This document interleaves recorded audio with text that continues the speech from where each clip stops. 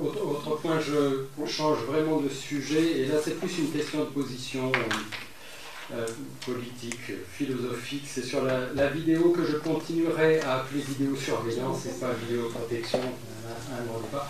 Euh, c'est un sujet euh, sensible.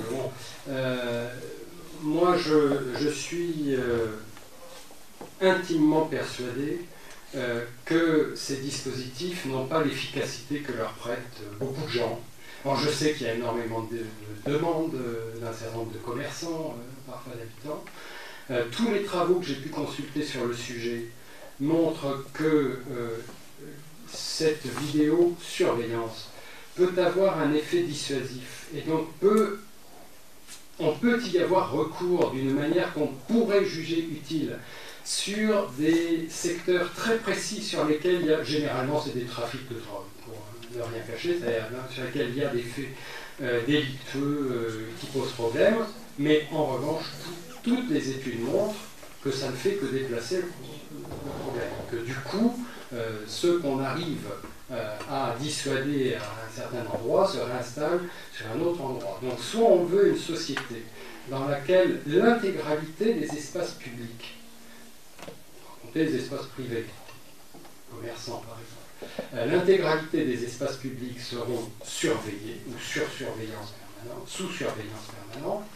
Euh, et je crois qu'on est en train d'y glisser tout, doucement, sans que personne ne s'en émeuve et sans qu'on mesure les conséquences que cela pourra avoir le jour où des pouvoirs un peu moins bienveillants que ceux que nous avons actuellement euh, s'en serviront, euh, donc on est en train de glisser tout doucement dans une société dans laquelle il n'existera plus dans l'espace public d'espace de, tranquillité, de, sérénité, euh, dans lesquels on échappe au regard, au regard d'autrui.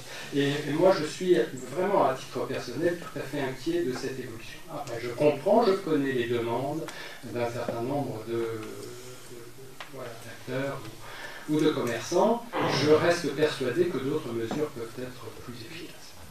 Bien, alors sur ce point, c'est clair qu'on aura un désaccord, euh, je reste sur la vidéoprotection. C'est vrai que c'est une lecture et beaucoup font 10 vidéosurveillance ou l'inverse. Euh, dans tes études que tu as pu faire, et euh, je voudrais te rappeler que tu étais maire de la commune, et que tu étais aussi gestionnaire du port de la Cotinière, et que tu peux noter, à ce titre-là, que depuis qu'on a mis en place la vidéo, pour le coup surveillance, cette fois-ci je peux le confirmer, je le dis sous le couvert d'Eric Gilbert qui est présent, on est passé d'un sinistre ou d'un problème à régler par la collectivité par jour à un par an pratiquement. Donc là c'est un fait, tu ne peux pas contredire. Et le seul point qu'on a, c'est quelqu'un qui nous a défoncé le portail en marche arrière, justement où il n'y avait pas de caméra, et qu'on n'a jamais retrouvé, qui nous a coûté de 70 millions, un truc comme ça. Donc, juste pour donner une idée. Alors, ça c'est un premier point. Et on avait euh, à la Cotinière une obligation de mise en place de ces vidéos, puisqu'on est quand même sur un secteur marchand, avec euh, des dispositions de marchandises qui sont soumises à des ventes aux enchères, avec euh, donc du personnel municipal qui peut être engagé et responsable, et en même temps une surveillance des produits et des espaces qui sont des espaces privés.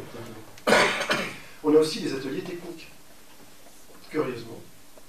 dès qu'on a mis en place le système de vidéoprotection, je vais employer le terme exprès dans le sens, tous les éléments ont été protégés. Euh, les matériels, euh, les dégradations, euh, les personnels ont été rassurés aussi sur les dégradations qu'ils avaient dans leur propre casier, qui étaient pulvérisés et détruits dans le temps.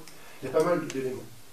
Après, sur le point de vue plutôt communal, et en termes de voirie, je voudrais quand même rappeler que la France est sous alerte attentat et c'est sérieux, quoi, l'alerte sécurité. Alors, on pourra toujours dire que c'est un moyen, un mal pour un bien ou autre chose, un bien pour un mal. Il n'empêche que c'est une réalité et ce qui nous oblige à faire aujourd'hui près des écoles ne me convient pas. J'ai pas envie de murer les écoles, de mettre de hauteur, j'ai pas envie de mettre des portes électrifiées, j'ai pas envie de mettre des sas pour vérifier si les enfants ont du métal sur eux ou s'il y a des personnes qui peuvent être interdits en pénétrer. Et c'est vrai qu'on a des dégradations. Et des dégradations qui ne sont pas forcément liées au trafic de drogue. Même si l'île de Léon est un territoire très particulier au niveau de l'observation de la, de l'ex Poitou-Charentes euh, et, même au niveau du territoire de Charente-Maritime, Euh, l'inspection qui a été faite par la gendarmerie départementale nous a présenté des chiffres, je dirais, assez surprenants pour les Léon à ce sujet. Oui, je comprends que quand il y a des vidéoprotections, il y a des déplacements de ces problèmes-là en particulier, stupéfiants ou autres. Mais je remarque qu'on a des endroits dans la commune, les Françaises me le rappelaient ce matin au bureau municipal, qui sont, ce qui est curieux, pour des endroits dits de tranquillité que tu venais de souligner, sont systématiquement détruits pour laisser faire les trafics. Je peux citer le petit passage de la Seigneurie où on nous a tout fracassé. On met aujourd'hui des éclairages blindés. si c'est ça la tranquillité, c'est pas la tranquillité pour les riverains et les habitants qui ne passent plus par là pour pas être confrontés aux jeunes qui sont occasionnés. Et on ne met pas de caméra à cet endroit d'ailleurs, c'est pas prévu. Mais on n'arrive pas à régler le problème. Il y a d'autres actions qui sont aujourd'hui envisagées, euh, services euh, administratifs départementaux, euh, auprès des collèges, auprès des enfants, auprès des parents, parce que l'on veut, mais ça pas le problème. Et après, il y a aussi la difficulté des, euh, des lieux dits publics avec l'immobilier urbain. Je viens de parler de la place d'État pour répondre à une de tes questions. quand je vois les conséquences folles en termes financiers de remplacement de mobilier urbain qui sont détruits à longueur de temps, volés, saccagés, il y a des endroits, je pense qu'il va falloir mettre sous vidéo protection pour éviter qu'on fracasse les candélabres, qu'on nous les vole tout simplement, qu'on nous les arrache. Parce que est-ce que la collectivité a vocation à mettre sur ses budgets des remplacements euh, de matériel euh, Et on le voit bien, euh, par exemple, au carrefour de la, du château de Bonny, destruction d'un feu par des poids lourds qui les arrachent en passant, pour pas dire d'autres véhicules encombrants, pas de caméra, personne n'est là, pas de traces, le feu est en panne pendant six mois, le temps qu'on en trouve un autre.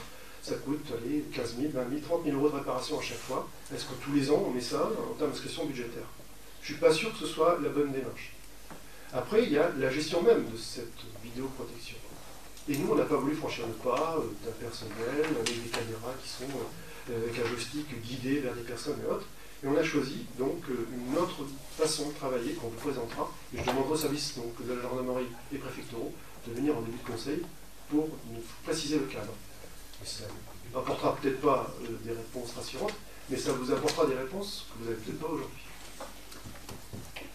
Juste pour, euh, continuer, enfin, pas pour, pour continuer aussi un tout petit peu la discussion sur ce sujet, par rapport à la cotinière, moi j'avais tout à fait euh, admis le fait qu'il y ait de la surveillance sur le site de travail. Moi je fais une différence très nette. Qu'un commerçant, et, je dirais que je parlais du port lui-même, qu'un commerçant souhaite surveiller son magasin pour vérifier en cas de problème et avoir une preuve, je le comprends très bien. Moi, ce qui me pose problème, c'est les espaces publics. Alors, euh, concernant le, port en tant que site de travail, euh, et effectivement avec de la marchandise, qui en dehors d'ailleurs d'actes délictuels peut tout simplement par des erreurs euh, être mal, mal orienté, récupéré. donc il y ait effectivement des formes d'enregistrement qui permettent dans une logique de vérification après. D'enquête, voilà, d'enquête après coup, euh, qui permettent de, retrouver euh, les biens, ça je l'avais validé, je, l'avais accepté. Ce qui me pose problème, moi, c'est euh, la généralisation de ces dispositifs sur l'espace public lui-même. Bon, après, c'est un débat on pourra continuer, on pourra continuer à faire. Deux personnes peuvent s'exprimer aussi. Oui, oui, oui. On est tous les deux là, j'ai du monde. Merci d'être là ce soir. Voilà. Alors, je change le sujet. un petit peu, les gens ont parlé. Donc juste un petit peu, euh, pour, parler de la, j'appelle moi aussi une vidéosurveillance, euh, ça ne me rassure pas toujours parce qu'en fait j'ai eu une, mauvaise expérience. Là, je participe assez souvent, vous en doutez, à des manifestations. Et sur une ville, euh, une ville, on va dire à vie, pas très loin et tout, j'ai eu l'expérience de voir que lorsqu'on était sur la place, les caméras de vidéosurveillance balayaient l'ensemble du public. Donc euh, je ne me suis pas sentie protégée et je vois pas en quoi euh, on était dangereux sur cette place. Donc voilà, c'est ce que je veux dire, c'est qu'il y a un moment donné, je veux dire comme Patrick, euh, la vidéo surveillance, il faut aussi faire attention parce qu'il peut y avoir aussi des dégâts collatéraux. Voilà.